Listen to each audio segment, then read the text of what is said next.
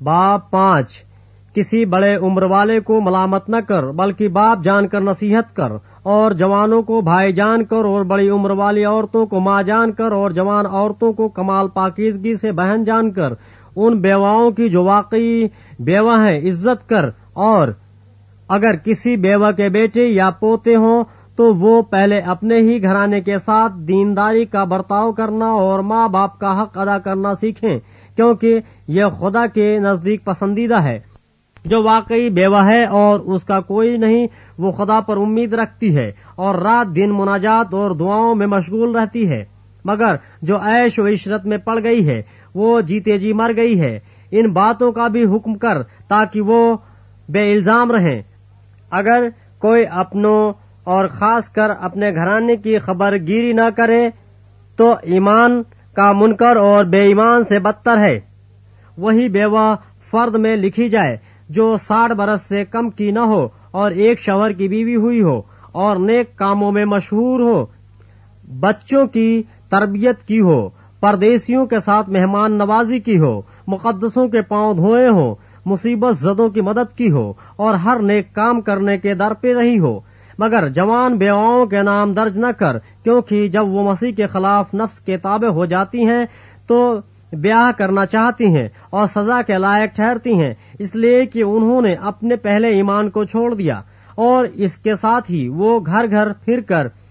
کے بیکار رہنا سیکھتی ہیں اور صرف بیکاری نہیں رہتی، بلکہ بک بک کرتی رہتی اور اوروں کے کام میں دخل بھی دیتی ہیں اور ناشائستہ باتیں کہتی ہیں۔ بس میں یہ چاہتا ہوں کہ جوان بیوائیں بیاہ کریں، ان کے اولاد ہو، گھر کا انتظام کریں اور کسی مخالف کو بدگوئی کا موقع نہ دیں، کیونکہ بعض گمراہ ہو کر شیطان کی پیرو ہو چکی ہیں۔ اگر کسی ایماندار عورت کے ہاں بیوائیں ہوں، تو وہی ان کی مدد کرے اور کلیسیا پر بوجھ نہ ڈالا جائے، تاکہ وہ ان کی مدد کر سکے جو واقعی بیوہ ہیں۔ جو بزرگ اچھا انتظام کرتے ہیں خاص کر وہ جو کلام سنانے اور تعلیم دینے میں محنت کرتے ہیں۔ دو، چند عزت کے لائق سمجھے جائیں۔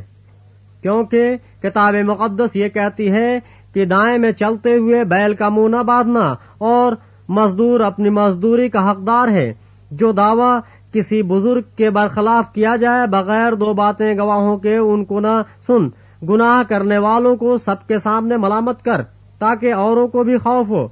خدا اور مسیح عیسو اور برگزیدہ فرشتوں کو گواہ کر کے میں تجھے تاکید کرتا ہوں کہ ان باتوں پر بلا تعصب عمل کرنا اور کوئی کام طرفداری سے نہ کرنا، کسی شخص پر جلد ہاتھ نہ رکھنا اور دوسروں کے گناہوں میں شریک نہ ہونا، اپنے آپ کو پاک رکھنا، آئندہ کو صرف پانی ہی نہ پیا کر، بلکہ اپنے میدا اور اکثر کمزور رہنے کی وجہ سے ذرا سی میں بھی کام میں لایا کر بعض آدمیوں کے گناہ ظاہر ہوتے ہیں اور پہلے ہی عدالت میں پہنچ جاتے ہیں اور بعض کے پیچھے جاتے ہیں۔ اسی طرح بعض اچھے کام بھی ظاہر ہوتے ہیں اور جو ایسے نہیں ہوتے وہ بھی چھپ نہیں سکتے۔